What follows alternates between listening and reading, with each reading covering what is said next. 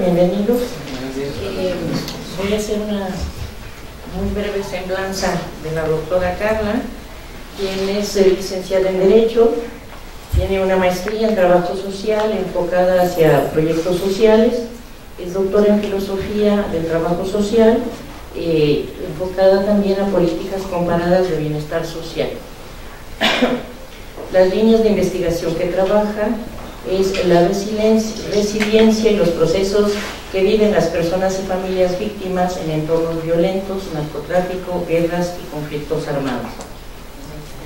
Tiene proyectos de intervención social orientados a la prevención de la violencia hacia la mujer, promoción de la equidad de género, proyectos de vida en familias complejas y la atención social a víctimas de entornos violentos.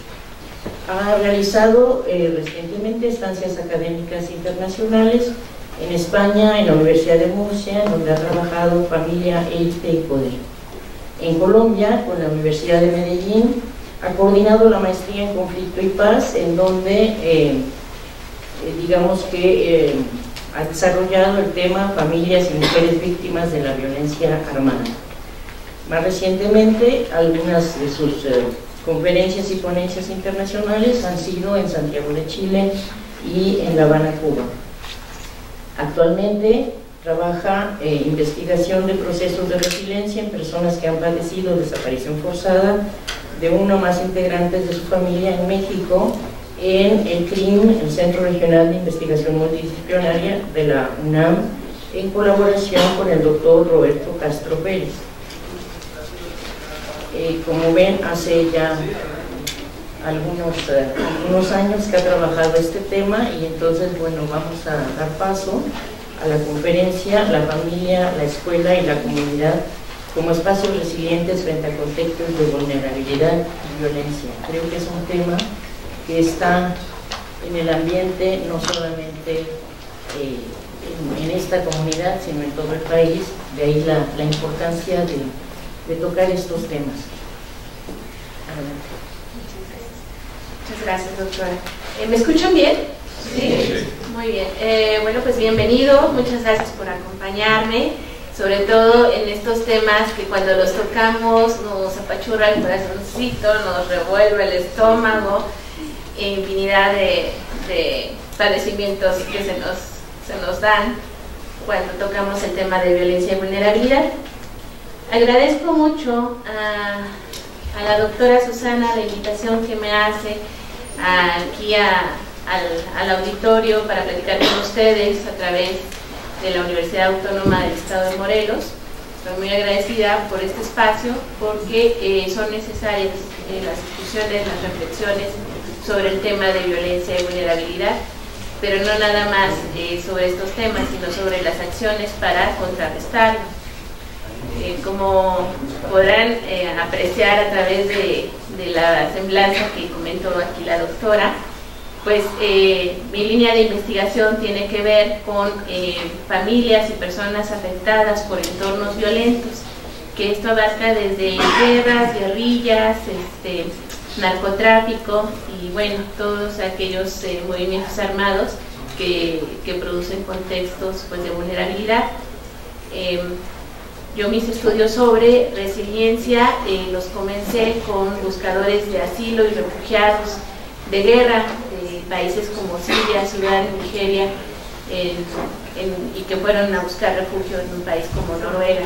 Entonces, a través de ellos comprendí lo necesaria que era la resiliencia y las pocas alternativas que tiene una persona que cuando es desplazada forzadamente, pues este, puede, puede sobrellevar las situaciones de un trauma y en un país totalmente ajeno a este de origen.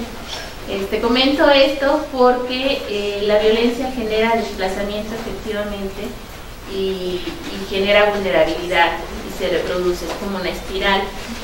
Entonces, este, cuando uno ya es desplazado o sale de, de su país, pues tiene pocas alternativas para ser resiliente pero en, un país como México tenemos diversos factores que todavía nos pueden ayudar bajo estos contextos. Entonces, eh, me gustaría comenzar con esta frase, toda, todo estudio sobre violencia todo esfuerzo que se haga sobre conocer la violencia sería estéril si no eh, planteamos alternativas para contrarrestarla. Bueno, entonces eh, me gustaría comenzar con una cita de Boris Cyrulnik, que es eh, un gran teórico al quien admiro mucho, es francés, pero sus orígenes son es judío. Y él es una de las personajes pues más que ha aportado más al tema de resiliencia. Y eh, él es eh, víctima o sobreviviente del holocausto, a los seis años perdió a toda su familia, eh, su familia fue asesinada y él fue pues dirigido a un campo de concentración y en ese campo de concentración fue rescatado por una enfermera la cual, eh, pues a, través de, sacar a una mujer moribunda del campo de concentración, lo escondió debajo de la, camilla y fue de esta manera que, él pudo sobrevivir a los seis años y de ahí pasó de casa a hogar, en casa a hogar, en casa a hogar. Y cuando él cuenta su historia personal, pues no la cuenta bajo el drama, él la cuenta riendo, ¿no? Y él dice, yo me parto de risa cada que cuento mi historia. ¿Por qué? Porque encuentra el humor un factor y empieza a contar, sí, sí me pasó esto, pero aparte yo viví estas cosas, sí, sí. Entonces fue una forma de ver la vida que le permitió eh, incentivar los factores de resiliencia y como tal eh, comenzó a estudiarlos y bueno, pues él es, eh, su línea es desde la psicología, desde la psiquiatría y es uno de los grandes teóricos que aporta más al tema de resiliencia.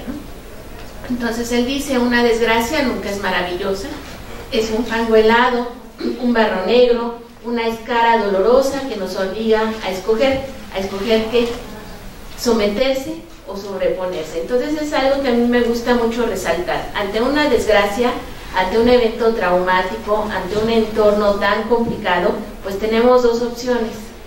¿sí?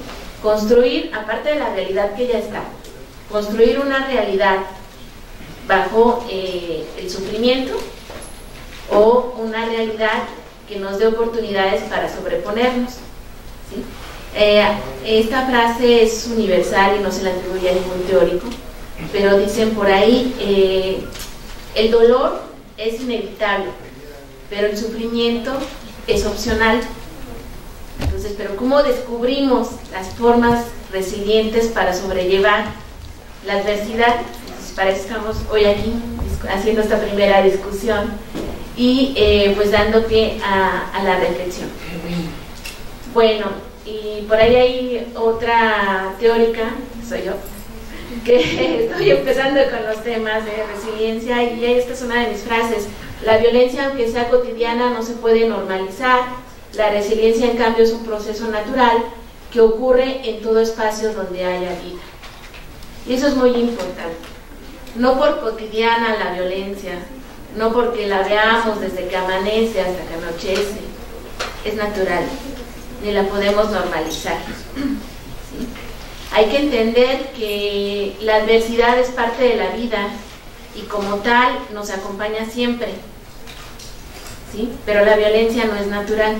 Entonces de un lado tenemos la adversidad, pero de otro lado también podemos tener la resiliencia, porque la resiliencia es un proceso que va a ocurrir en cualquier espacio donde haya vida. Por ejemplo, si a ustedes se les rompe un huesito, pues el hueso tiene la capacidad de recomponerse. ¿sí?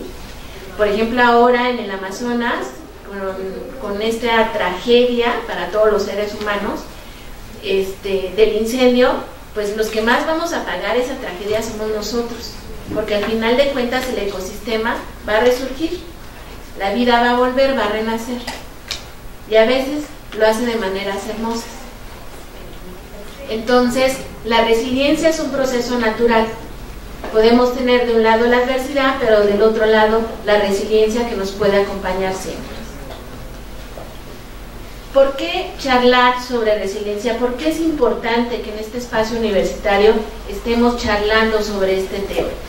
¿Por qué es importante que futuros profesionistas como todos ustedes estén aquí hoy para discutir sobre el tema. Bueno, es importante decir que México ahorita está bajo una violencia extrema, que esta violencia extrema tiene ya más de dos décadas, de perdón, de una década, poco más de una década, que eh, eh, ha dado cifras espantosas, ¿sí? entre ellas, y porque es mi tema lo voy a mencionar, y porque el pasado viernes fue el Día Internacional eh, de la Desaparición Forzada, este, pues tenemos cerca de 41 mil personas desaparecidas a nivel nacional. 41 mil personas desaparecidas en poco más de una década. Tenemos 26 mil cuerpos sin identificar en servicios forenses. 26 mil cuerpos sin identificar. No estoy contando restos, estoy hablando de cuerpos. Hay que sumar los restos que se encuentran en las más de 3 mil fosas clandestinas a nivel nacional y las que están registradas porque todos saben que Guerrero, Tamaulipas, Sinaloa, muchos estados son grandes fosas clandestinas. Entonces el problema de violencia que tenemos hoy en día es grave y no tiene precedentes. México se caracterizaba por ser un país pacífico, un país amigo. ¿sí? Eh, cuando yo era chiquita, que no fue hace mucho tiempo, eh, este, pues yo preguntaba para qué era el ejército, para qué son las Fuerzas Armadas, y me decían, pues para ayudar en los desastres naturales. Esa era nuestra referencia. ¿sí? Pero hace dos sexenios atrás, la referencia cambió. Las políticas de seguridad, pues, trajeron mucha violencia a nuestro país. Entonces, ¿qué vamos a hacer frente a esta nueva realidad? Es grave porque las desapariciones que han ocurrido en México, ¿por qué digo que no tienen precedentes? Si hay una historia detrás de desapariciones en México a través de la guerra sucia, las desapariciones de los 70, por ejemplo, ¿no? El caso Radilla, el caso Lucio Cabañas. O sea, ¿por qué yo digo que no hay precedentes? Pues por las cifras. Y por ejemplo, en Latinoamérica, pues sí tenemos eh, ahí una historia, ¿no? Que antecede por ejemplo, las desapariciones del Cono Sur, bajo regímenes de, dictadura, y con Pinochet, por ejemplo, en Chile, ¿no?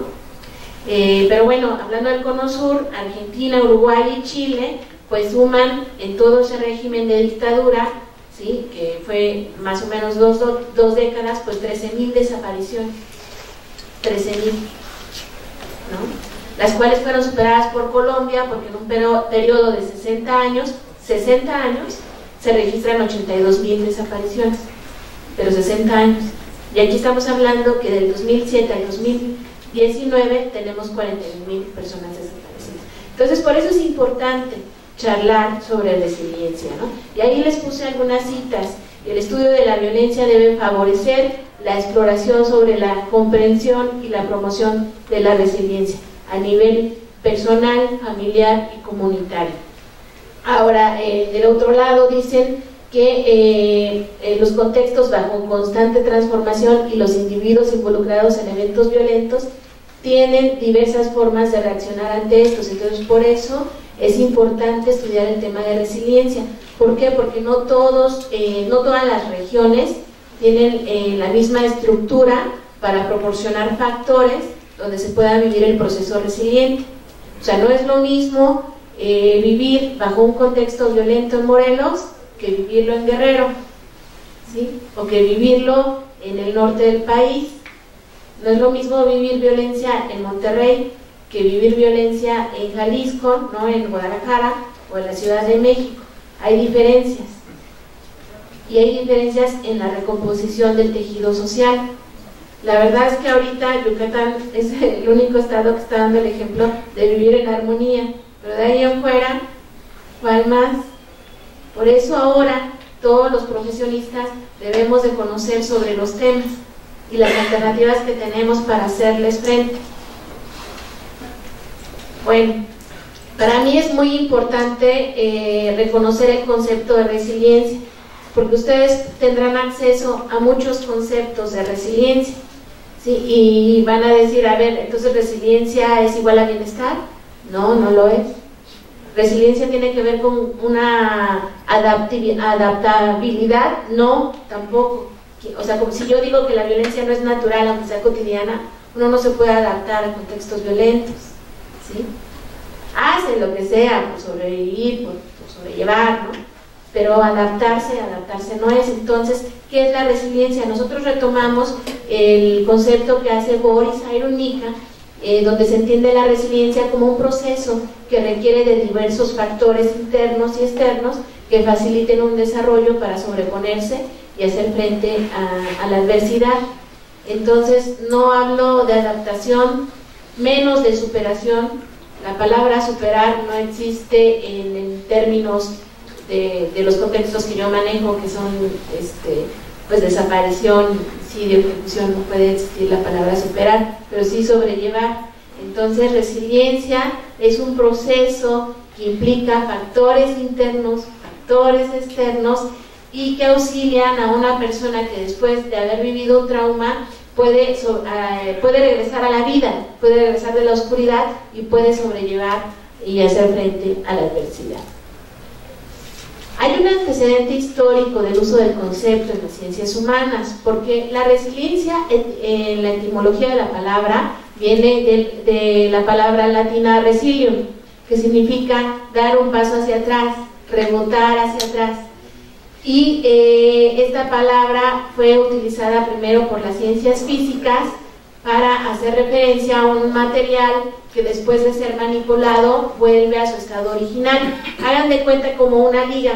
en una liga ejercen, ejercen presión, la estiran, la estiran y después de que dejan de presionar vuelve a su estado original. Ese es el proceso resiliente, y volver al estado original.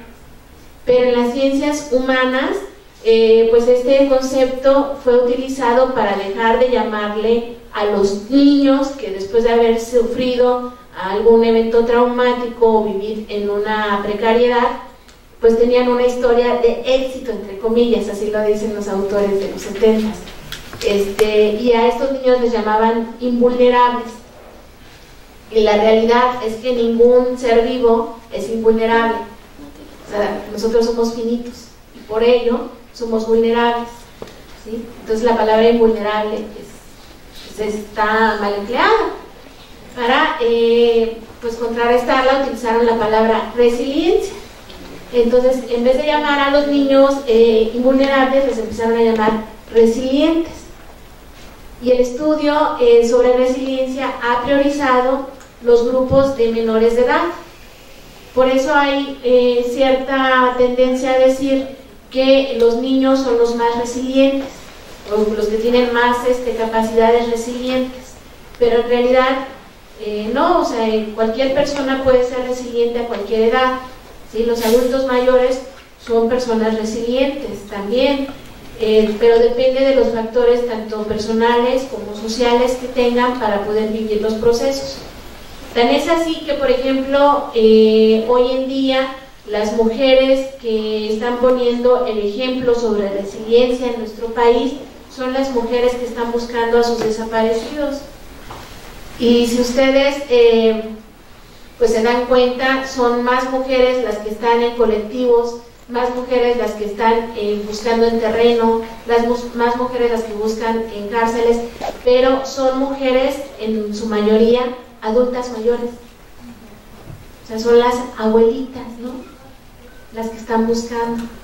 Mayores de 60 años. O sea, hay mujeres de 70 años que están subiendo cerros, eh, buscando el terreno, no están bajando a minas porque ya sería demasiado, tienen que hacer rapel, ¿no? Pero ellas son las que están buscando. Y son las personas más resilientes que ustedes puedan encontrar. ¿Y de qué edades estamos hablando? Por eso es que hoy en día en México se va a ser un campo de estudio muy importante para crear nueva teoría, porque están sucediendo cosas que, eh, aunque han pasado en, otro, en otros países, estos contextos son muy diferentes. ¿sí? Y bueno, entonces eh, vamos a seguir aquí.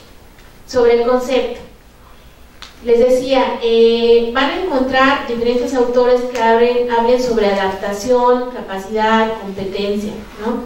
Pero nosotros lo que retomamos más es un proceso. O sea, la resiliencia no es, no es lineal, no es estática, es un ir y venir. Alguien que ha sufrido un trauma tendrá días buenos y días muy oscuros, y después días buenos y otra vez días muy oscuros. O sea, eh, nadie puede garantizarles una felicidad absoluta después de un trauma. Dice Boris Sairunica, ¿no? O sea, lo que da la resiliencia es esa oportunidad para robarle a la vida momentos de felicidad, pero no es una felicidad continua. ¿sí? Eh, entonces, eh, hoy en día la resiliencia pasó de ser algo absoluto, que se medía incluso por escalas, que se atribuía a la capacidad individual, este, pues ahora eh, pasa a ser algo relativo, que depende de factores sociales, también factores familiares, donde todos podemos ser partícipes de que alguien que haya padecido un trauma pueda ser resiliente. Entonces, eh, em, pues ustedes van a estar expuestos a muchos conceptos, a muchas revisiones teóricas y pues habrá eh, grandes teóricos y eh, que han aportado muchísimo a la ciencia social que podrán decirles, no, el, concepto está vinculado meramente a la, adaptación, ¿no? Y ahí, este, por ejemplo, tenemos a Meixten, Meixten Smith, pues Bernard, eh, que son más que nada teóricos de, antes del milenio, que hablaban sobre una adaptación exitosa en el individuo frente a la adversidad, pero después vienen otros eh, teóricos que hablan más de una capacidad, que es una capacidad humana, universal, para hacer frente a las adversidades, y eh, ya más contemporáneos vienen otros teóricos, ahí me faltó poner a Boris Irunica, que hablan sobre un proceso, proceso dinámico donde las influencias del ambiente y del individuo interaccionan y en esta relación recíproca eh, pues se les permite a las personas eh, contrarrestar la adversidad, Entonces, pero bueno, la, como les decía, es un proceso eh, que sube y baja, que no es estático, por lo tanto es dialéctico. Entonces, en esta dialéctica pues hay dos enfoques, ¿no? Enfoques mínimos que aluden al rol de la adaptación y enfoques máximos que refieren a la transformación y al crecimiento. ¿sí? O sea, por ejemplo, y voy a regresar otra vez a mi tema de estudio, porque es del cual puedo dar más ejemplos, eh, hay una cuestión de género muy importante en torno a la desaparición. O sea, en cifras generales, la tercera parte de las personas desaparecidas son mujeres, el resto son hombres la mayoría son hombres. ¿sí? Es un tema de género importante, o sea, desaparecen más hombres que mujeres. Pero quienes enfrentan el problema de desaparición, es decir, las, familias y las que están más al tanto de los procesos legales de búsqueda y de búsqueda del terreno y de búsqueda de justicia y de búsqueda de reparación, son mujeres. Entonces, las mujeres son las que están siendo más afectadas por la desaparición y ante esto eh, podemos encontrar los niveles de resiliencia máximos. ¿Por qué? Porque ellas, eh, primero, o sea, es imposible que alguien que ha sido traumatizado, pues eh, al otro día sea resiliente, o a la semana, eso es imposible. ¿sí? El proceso lleva meses o lleva años. ¿Por qué? Porque se muere en vida. ¿Sí? Hay que tener un desarrollo postraumático y eso los psicólogos no me, dejan mentir. Hay que tener un desarrollo postraumático y en ese desarrollo hay eh, días donde se muere en vida, ¿no? Dice Eduardo Galeano en una de sus frases, se muere de muchas formas, se muere socialmente, se muere familiarmente, se muere políticamente, se muere de amor, se muere físicamente. Entonces las personas que viven un trauma mueren de muchas formas. Por eso el ser resiliente es regresar a la vida. Y entonces hay que comprender ese periodo donde están muertas, donde están sin eh, ningún recurso mental para poder decir, bueno, ahora tengo que generar resiliencia. Eso solamente pues les pasa a, o sea, que tienen que activarse inmediatamente a la mayoría de las mujeres que pierden a su pareja, que les desaparecen a su pareja y tienen eh, bebés o niños muy pequeños, ¿no? Ellos son las que las empujan a levantarse, pero no es inmediato. Entonces, eh, la transformación y el crecimiento que las mujeres viven, las mujeres que pierden a un ser amado de esta manera tan cruel y que viven un proceso de transformación y crecimiento que se refiere a un máximo de resiliencia, pues sí existen y están en los colectivos, porque estas mujeres nos están enseñando lo que es una resiliencia individual, grupal, eh, comunitaria, o sea, social y política. Y yo siempre lo he dicho, o sea, la resiliencia es una decisión porque reconstruirse es una decisión, sobrellevar una adversidad es una decisión y no es fácil, lleva tiempo y necesita diversas herramientas, pero es una decisión. Es una decisión personal, es una decisión grupal, es una decisión social, pero es una decisión política también, porque estas mujeres, pues al exigir búsqueda, verdad, reparación, justicia, también tienen que hacer acciones políticas y eso les ayuda a seguir en pie, a seguir con vida. Entonces ahí tenemos un máximo de resiliencia. Pero, por ejemplo, un mínimo, ¿cuál sería en materia de resiliencia que habla aquí el autor de adaptación? Eh, tenemos algunas personas eh, que también pierden a sus hijos y son varones, son hombres, y permiten que sean las mujeres las que vayan al frente. y ellos pueden estar colaborando en otras cosas. A lo mejor seguir proveyendo ¿no? a la familia y eso es una colaboración muy importante. Otros hombres dicen, no, yo prefiero cerrar un duelo, o sea, cerrar un duelo y decir, ya no están aquí y seguir adelante. O hay hombres también que mueren de dolor precisamente por no externarlo, por no comentarlo, no sacar las emociones, ¿no? Vienen muchas enfermedades. Este, y ahí estamos hablando del rol de adaptación, decir, mejor no, mejor dejo que mi mujer sea la que busque, ¿no? Mi mujer de 70 años, de 60 años es la que busca y yo ayudo en otras cosas. No hay, o sea, hay hombres que buscan, ¿sí? Hay hombres que están al frente, pero en general, en general, son más las mujeres. Entonces ahí podemos ver una diferencia de, adaptación eh, y transformación. Entonces, eh, eso es muy importante. Y el generar resiliencia, eh, así como la violencia es una espiral, nos afecta a todas, generar resiliencia también nos impacta a todos.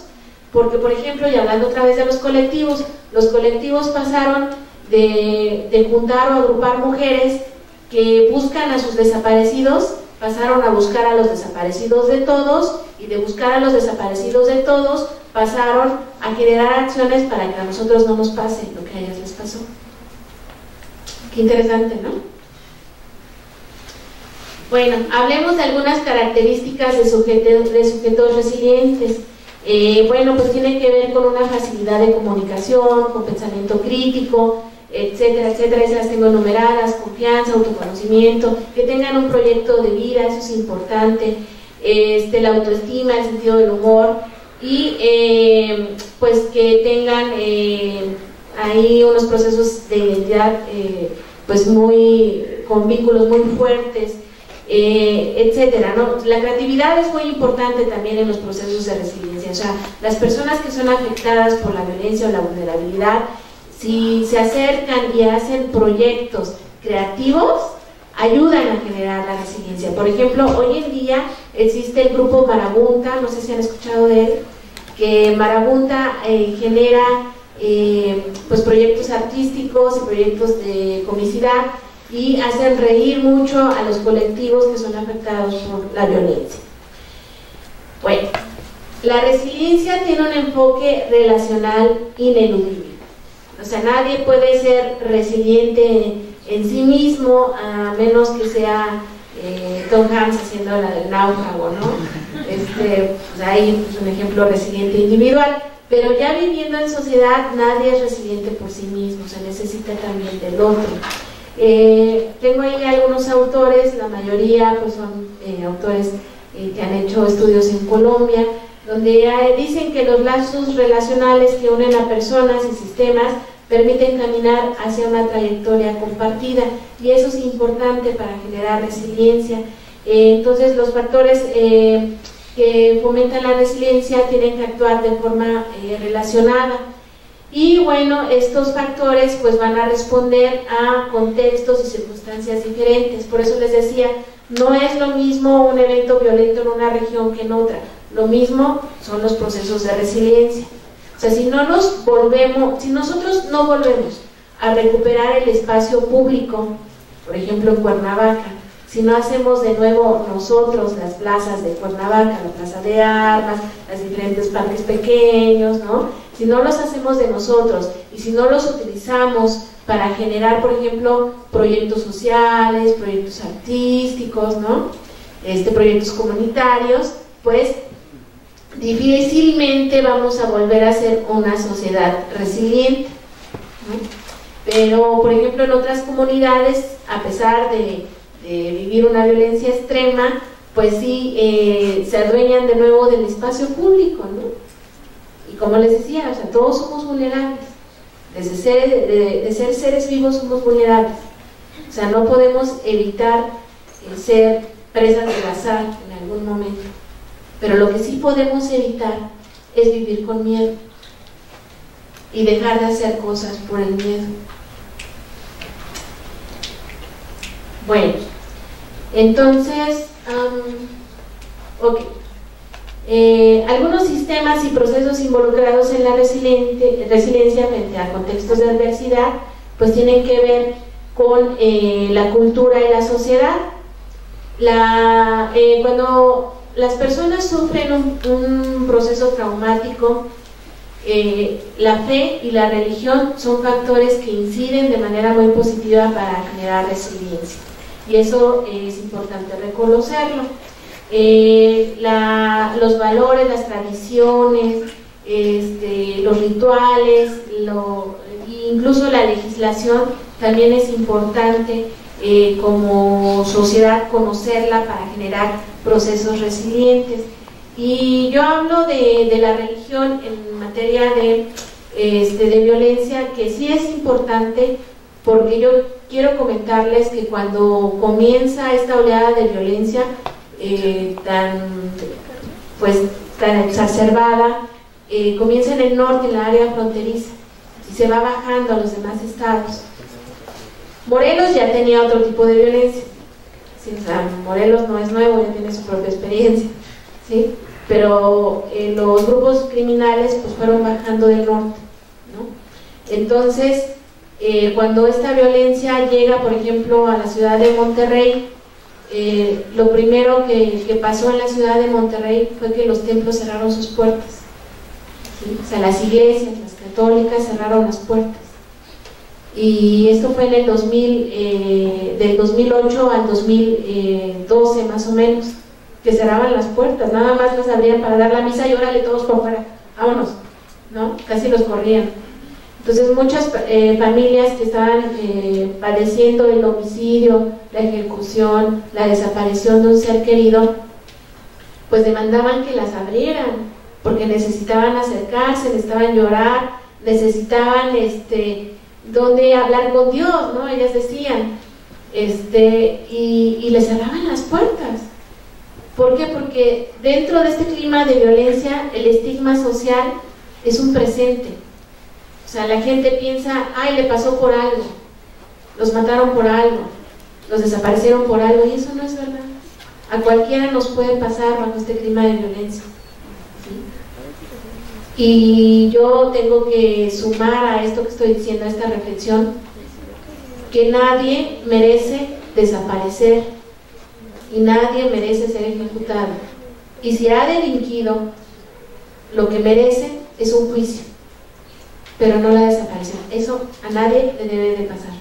Y lo que sucede en México a nadie le debió de pasar. Nadie debe de desaparecer. No deberíamos estar hablando de esto siquiera, porque no debe de suceder.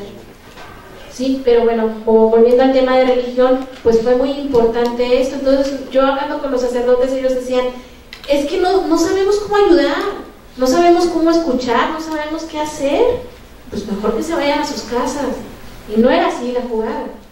O sea, decían las familias, pues es que nosotros no queremos que nos escuchen ni que nos resuelvan, queremos el espacio para orar, ¿no? Entonces eso era importante.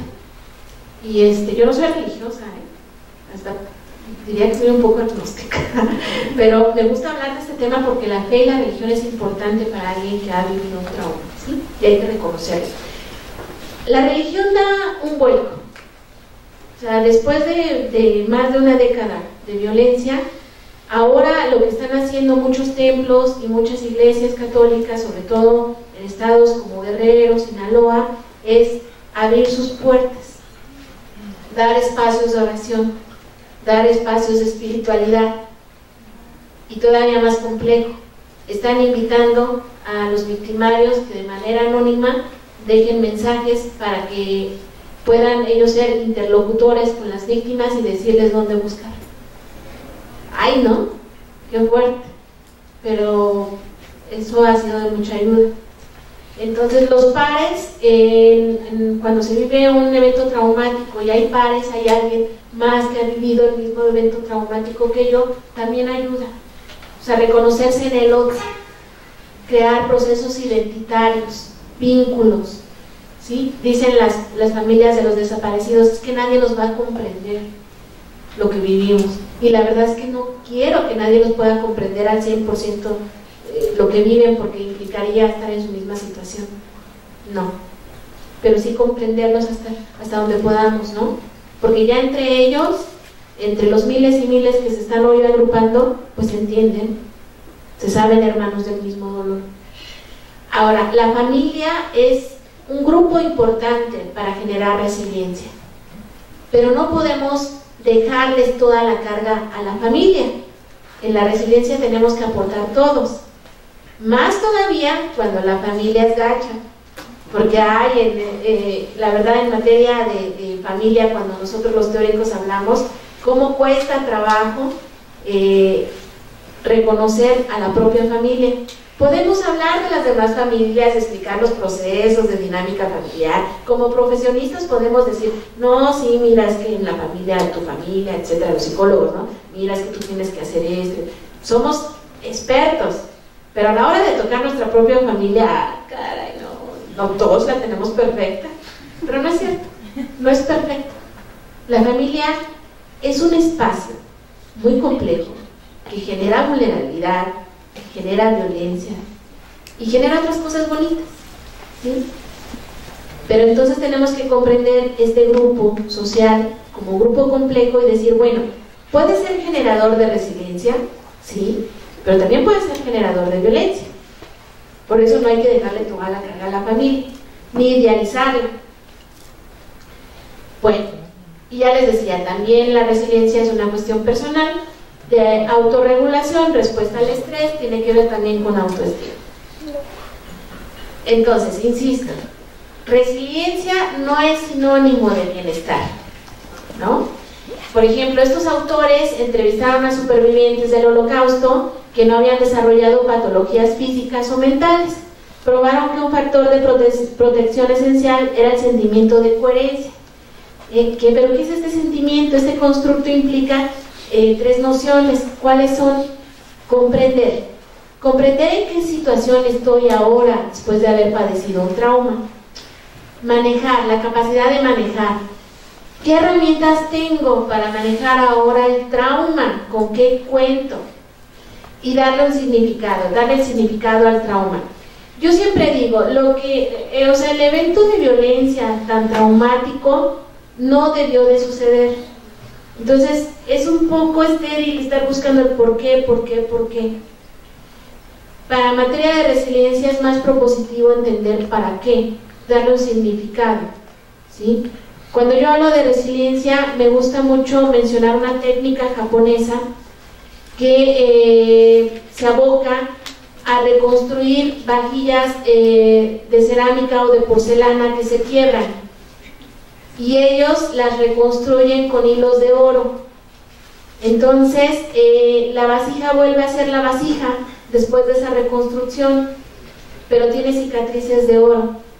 Entonces la ventaja es que esas cicatrices le dan un, sentido peculiar de belleza. O sea, la vasija jamás va a volver a ser la vasija que era. Ahora está reconstruida con hilos de oro y fortalecida. Eso es como la resiliencia, ¿no? Eh, Entonces, eh, ahora las personas afectadas por la violencia, para ser resilientes, tienen que darle un significado nuevo a lo que les pasó. ¿Cómo dar ese significado? Pues yo cuando hago investigación social, una de, mis participantes me decía, pero, o sea, con groserías, ¿no? O sea, si yo no quiero que sea resiliente, yo jamás hubiese querido ser resiliente, porque no, no, nunca hubiera pensado que me iba a pasar lo que me pasó, ¿no? Pero ya pasó. Entonces, no podemos dejar de estar enojados por lo que nos pasó, pero sí podemos vivir sin enojo. No podemos cambiar lo que nos pasó, pero sí podemos cambiar cómo lo vamos a vivir en un futuro, cómo lo vamos a procesar. Entonces, eh, eh, hablando del holocausto precisamente, eh, hay tres estudios que hizo Boris Aironica. Uno fue sobre niños que habían eh, estado en un campo de concentración y habían sido de los privilegiados que rescataron. Otro grupo de niños eh, fue sobrevivientes del holocausto también que estaban en un campo de concentración y este había sido bombardeado y se destruyó. Entonces los que sobrevivieron a este bombardeo pues fueron su campo de estudio. Y el tercer grupo de niños eh, del holocausto que sobrevivieron fueron aquellos que no habían eh, sido apresados, que no habían sido concentrados en campos de concentración, sino que estos niños son los que lograron, junto con eh, algunos padres combatientes que lograron insertarse a, pues ahora a las Fuerzas Armadas enemigas de los nazis y daban batalla, ¿no? Entonces este grupo de niños eh, habían ayudado a sus papás, ayudado a qué, híjole, qué fuerte, ¿no? Pero al campo de guerra. O sea, eran los que les pasaban las armas, los que les ayudaban a darles mantenimiento, los que junto con sus padres planeaban dónde poner minas. Entonces, Boris dice, bueno, de estos eh, tres grupos vamos a ver cuáles presentaron más posibilidades o experimentaron más espacios resilientes yo pregunto a ustedes cuáles creen que fueron los niños rescatados de un campo de concentración, los niños aplastados por un bombardeo y que finalmente lograron sobrevivir, o los niños que ayudaban a sus padres combatientes. ¿Quiénes creen? Pues los niños combatientes. Desafortunadamente, no, dijéramos, no, más violencia, no, bueno, no. Pero lo que pasa es que los niños no generaban todavía esa conciencia de daño que puede tener un adulto. Simplemente para ellos era, voy a ayudar a mi papá contra los malos. ¿sí?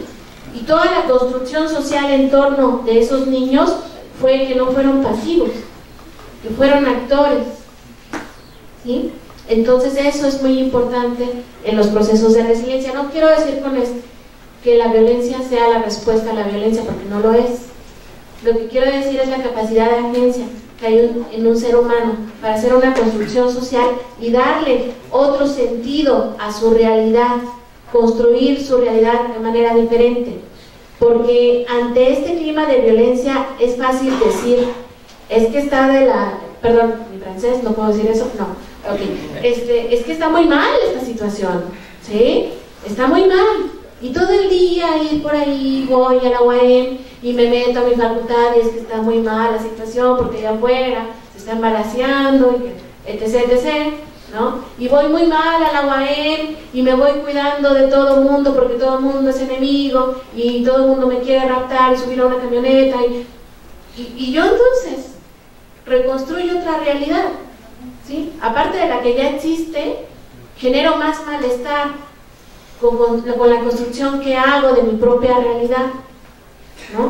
Entonces no, no podemos permitir que la violencia nos arrebate más de lo que ya arrebató.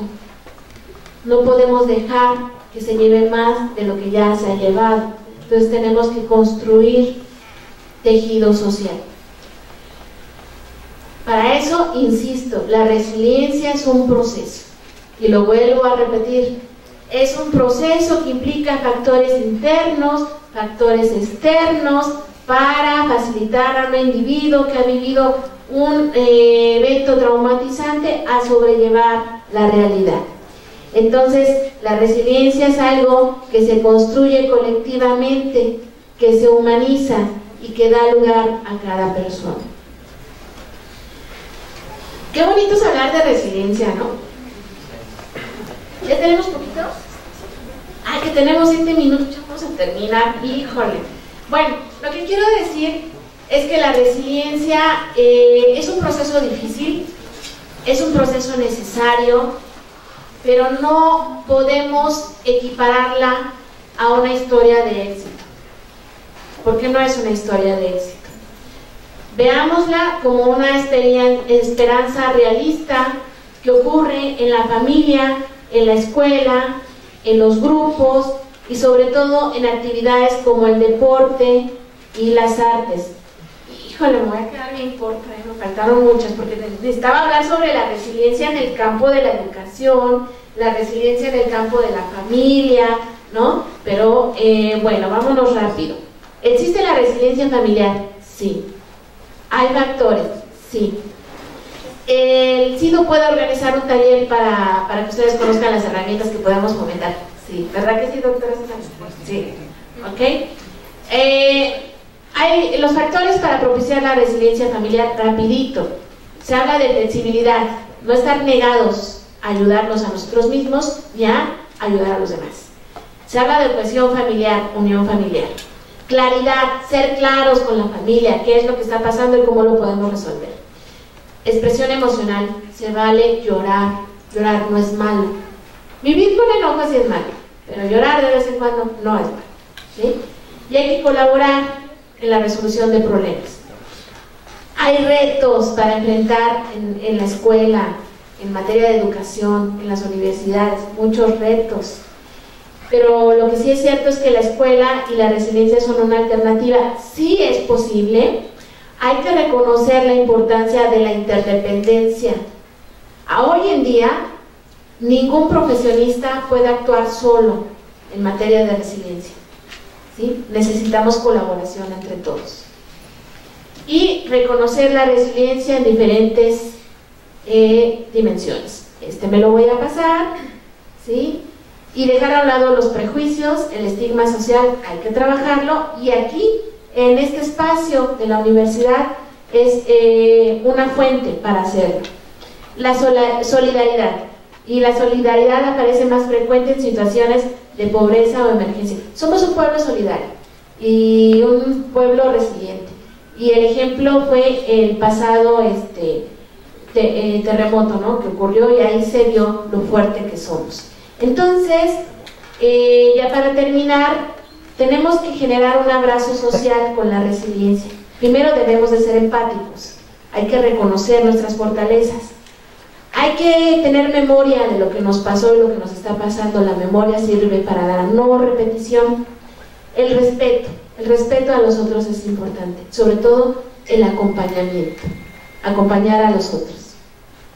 Y bueno, eh, el abrazo escolar puede ocurrir generando comunidad, no competencias, ¿no? No enseñar a los chicos a ser el mejor, sino enseñar a colaborar para tener una sociedad mejor.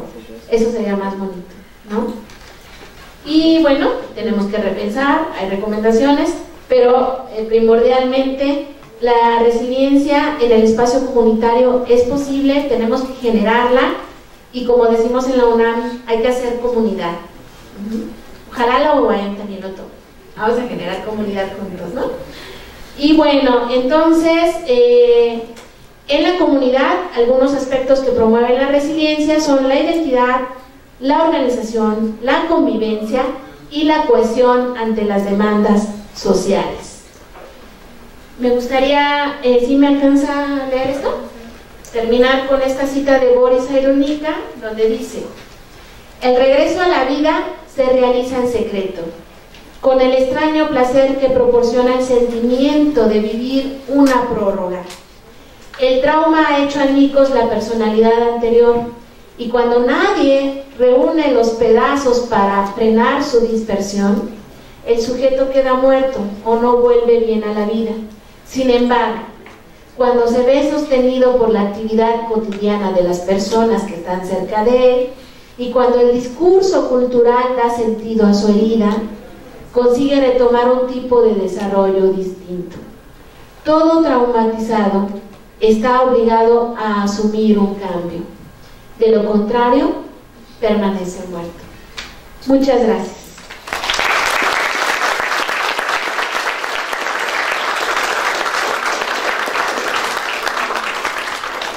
Muchísimas gracias. Como ven, el tema es este, extenso, súper interesante, se podría discutir sobre diversas aristas, ¿no? Creo que podríamos dar paso a dos o tres preguntas para, para escucharles.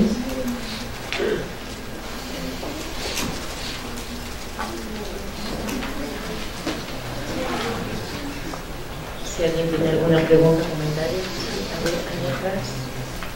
Yo quería hacer un, más bien un comentario.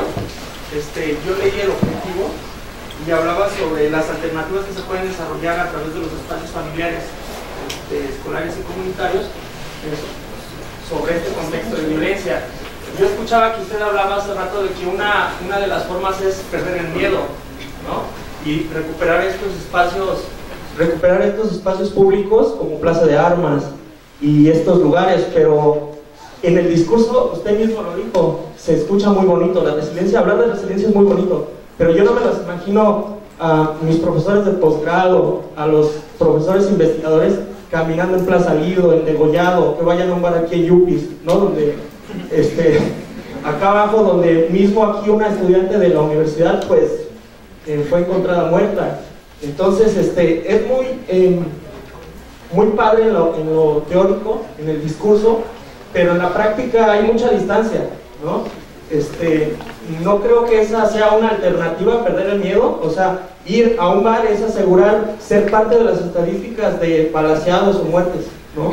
Entonces yo creo que pensaría más, no sé, una alternativa de hacer fiestas privadas, o yo esperaba escuchar un poquito más de estas alternativas, a lo mejor ya no le dio tiempo, pero era lo que yo esperaba escuchar, ¿no? Con su objetivo. Claro.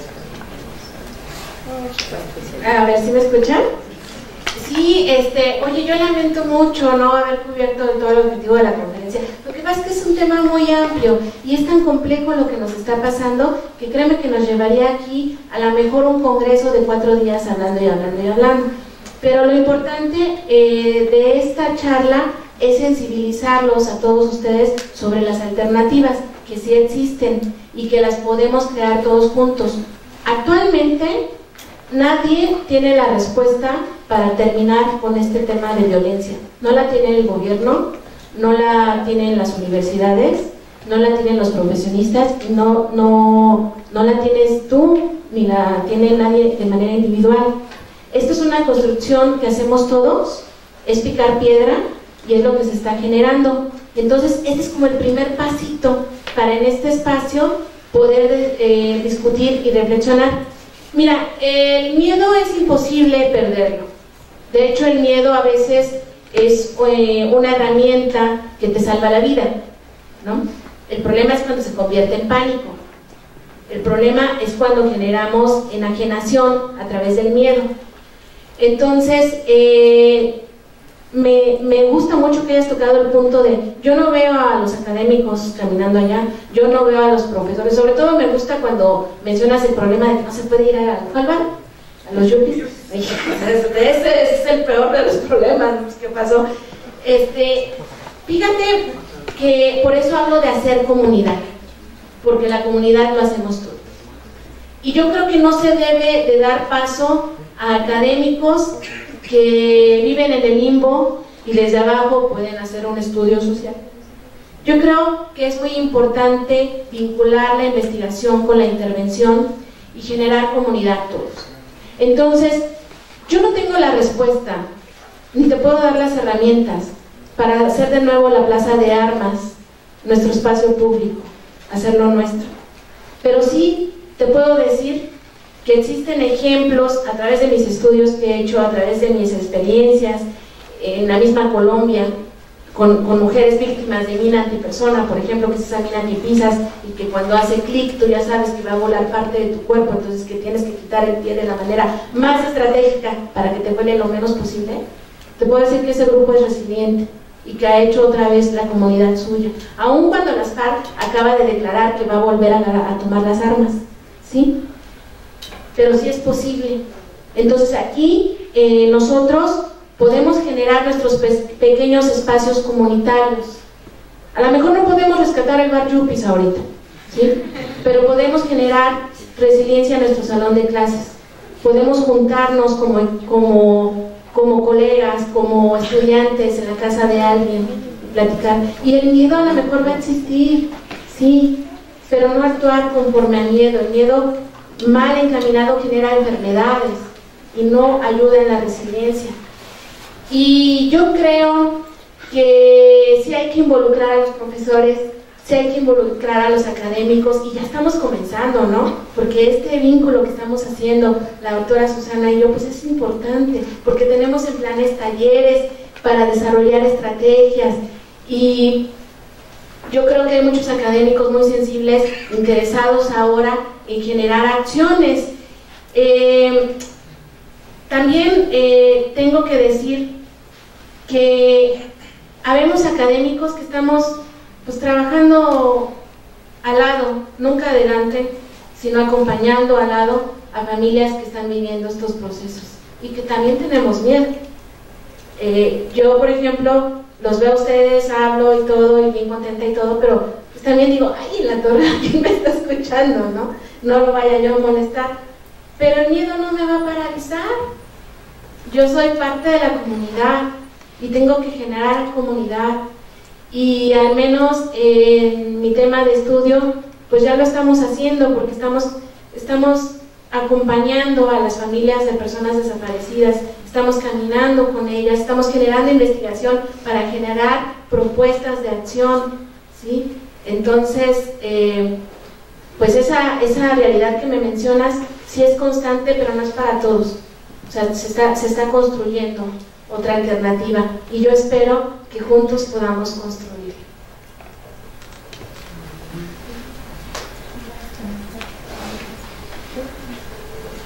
Bueno, doctora Carla, yo quisiera felicitarla porque la plática es muy provocadora, es una plática que nos deja pensando mucho, pero sobre todo nos da una esperanza. Y yo creo que nuestros universitarios eso es lo que necesitan. Necesitan saber que sí hay posibilidades de un mundo mejor, que toca construirlo, que no se va a formar solo y que gente valiente como usted nos está mostrando que se hacer cosas. Muchas gracias. Muchas gracias. Gracias.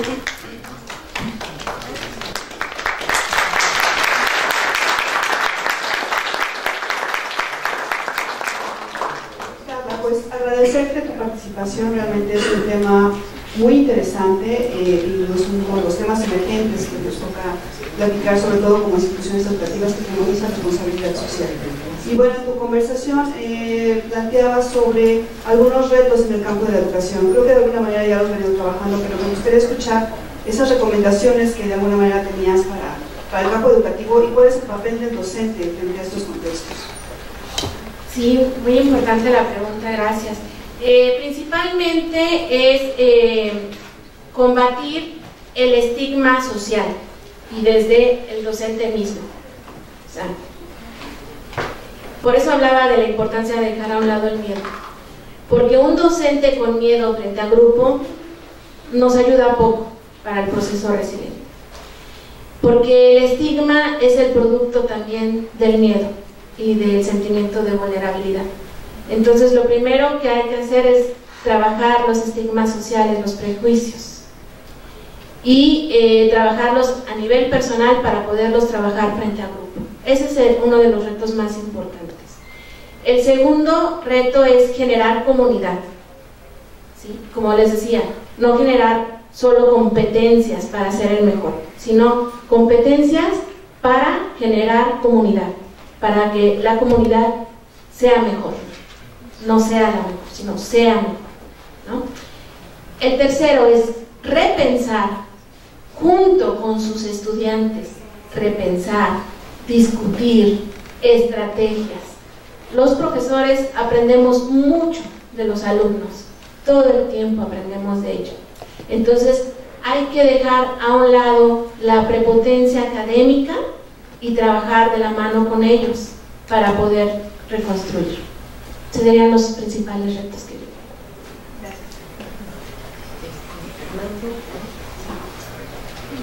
Hola doctora, muchísimas gracias por, compartir parte de su experiencia.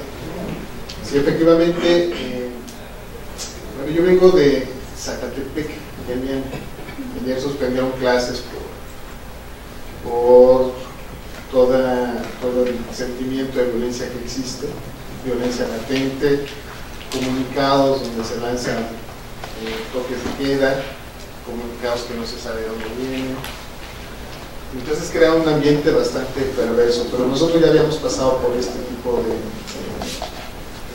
situaciones, ¿no? Hace aproximadamente en el 2000, en el 2009 fue que asesinaron a un capo también en Morelos, Arturo Beltrán Neiva, este, y ocurrió mucho de lo que está pasando ahorita en estos momentos. Estamos hablando de una situación cíclica, pero también estamos hablando de algo que eh, a lo que de alguna manera nos ha venido preparando la misma situación. En aquel momento la plaza se peleaba por, por el mercado de droga. Ahora no solamente es el mercado de droga, sino también es el mercado de la extorsión Allá es bien sabido que eh, los comerciantes, pequeños comerciantes, son extorsionados, tienen, derecho de piso, eh, les piden derecho de piso para comercializar cualquier tipo de cosa, principalmente aquellos negocios que venden alcohol. Entonces, eh, esta experiencia nos ha llevado justamente a tomar este tipo de,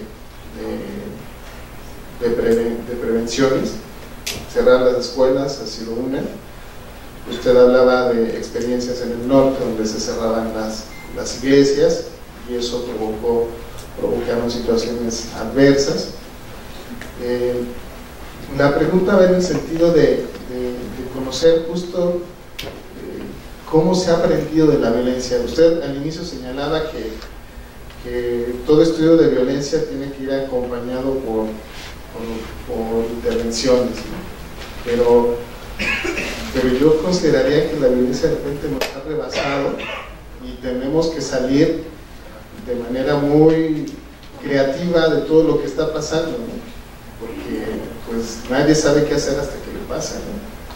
Entonces, no sé si usted ha encontrado dentro de toda la experiencia en, este, en México, en otros países, de qué manera se va aprendiendo la violencia cuáles han sido, eh, no sé si nos puede compartir un ejemplo para eh, tratar de empezar a hacer algo aquí, en, en Morelos. Muchas gracias eh, por la pregunta. mira, yo quisiera tener la respuesta para eso, si la tuviera, a lo mejor me contrataban allá en el gobierno, como asesora del presidente, quién sabe. no la tengo pero eh, podemos construir. Mira, la violencia genera reacción y genera eh, ruptura del tejido social. ¿sí? Entonces, la violencia está presente y está inundando nuestros entornos. Yo, mi propuesta es, no le demos más espacio del que ya tiene. No permitamos que abarque todo nuestro sentido de vida. Sentido de vida. La resiliencia construye, genera alternativas. Fíjate, las dos líneas, ¿no? Lo que la violencia genera lo que la resiliencia genera. Y propone, ¿no? Entonces, eh, si nosotros conocemos más sobre eh, experiencias resilientes, herramientas para la resiliencia, alternativas para hacer comunidad, para generar comunidad, pues estaremos eh, combatiendo que la violencia sea una espiral, que se robe más de lo que ya nos robó. Nosotros como sociedad estamos expuestos, poco podemos hacer. O sea, no, no podemos, eh, no podemos enfrentarnos a estos grupos criminales porque no somos criminales. Estamos, ¿no? Pero entonces sí podemos irnos por la otra vía, no perder nuestro tejido social. Y sí, y sí hay experiencias muy buenas sobre eso. Desafortunadamente, estas experiencias eh, ocurren con personas que han sido muy lastimadas directamente. Entonces ellos generan eh, una nueva comunidad, generan nuevos grupos, generan nuevas acciones. El reto de nosotros ahora como país es generar acciones resilientes, generar, regenerar el tejido social, volver a, apropiarnos de nuestra comunidad, lo cual no es una tarea fácil, ni hay receta para ello, ni podemos implementar eh, estrategias que en otros países se han implementado. Podemos conocerlas, pero no implementarlas porque no somos un laboratorio, ¿no? Que va a retomar este, recetas ajenas. E, es una construcción que tenemos que dar poco a poco, estamos picando piedra. Pero sí es posible. Entonces, eh, yo te puedo decir que ahí en tu comunidad están sucediendo cosas terribles y que están generando reacciones como cerrar la escuela. Porque se sienten vulnerables, se sienten expuestos. Pero no pueden cerrar la escuela todos los días. Y no pueden encerrar a los niños todos los días. Y no puedes ir de la, del trabajo a la casa, de la casa al trabajo, porque eso lo único que va a hacer es eh, generar más violencia, de verdad, y en otros ámbitos. Entonces, si las familias que tienen personas desaparecidas se han organizado para hacer búsquedas en terreno, que es lo más doloroso que pueda haber, y que nadie quiere organizarse para eso, ¿no?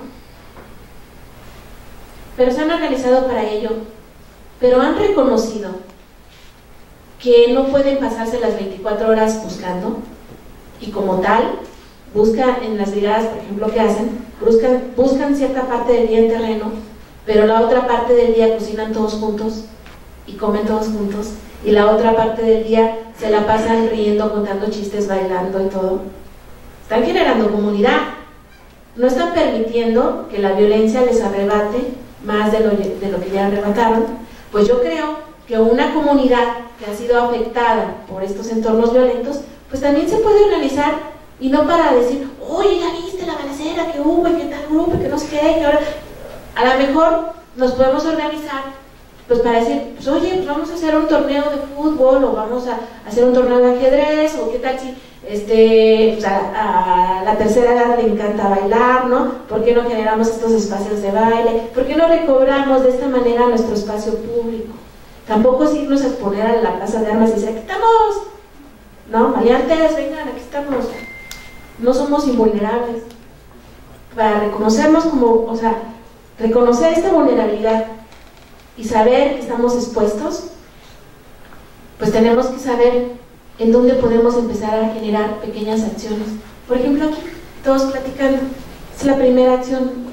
A lo mejor tú después te vas con un grupo de amigos y hablan sobre esto. Y a lo mejor en tu comunidad dicen, oye, pues a mí me gusta jugar ajedrez, ¿qué tal si nos juntamos en, casa de no sé quién y jugamos ajedrez? Y pues de paso ponemos ahí musiquita rica o cocinamos algo juntos. Eso sería bien padre. ¿no? no hay que esperar a que nos toque la desgracia para generar comunidad.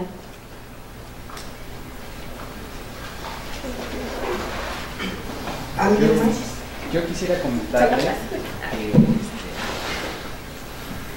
la felicito porque no es un tema, como ya expresamos todos, pero tiene razón, no hay que esperar para poder este, empezar un proceso de cambio, ¿no? Exactamente, no, no podemos implementar acciones que se hacen en otro lado aquí porque no somos iguales. Todos llevamos un proceso diferente, todos lo aplicamos diferente y sobre todo, pues, ¿cómo se dice?